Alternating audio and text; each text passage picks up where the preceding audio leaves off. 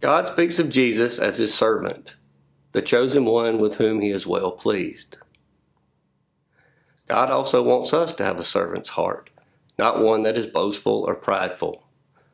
We are told that our greatness is determined by how many people we serve and not how many serve us. In the gospel today, we see Jesus, just six days before Passover, visiting the home of Lazarus, whom he had raised from the dead. There, Martha is very busy, rushing around preparing a meal for them to share. It appears she is doing her part to serve.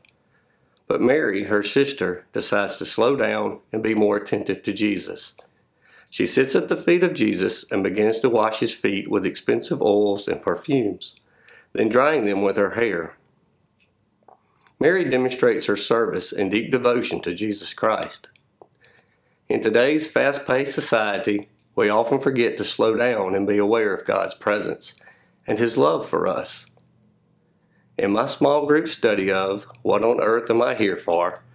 we are reminded that many of the greatest works of Jesus were performed when he took time to stop and serve others. He stopped to heal, and he took time to listen. This encourages me to slow down and allow myself to be interrupted, making me more aware of God, Jesus, and the Holy Spirit, to act more Christ like in my thoughts, to help the less fortunate, and to be a better witness. My dad always reminded me that without character, a man has nothing. He taught me to always do the right thing, even when no one else is looking. May we be more aware of God's presence during this holy week. Let us slow down and listen.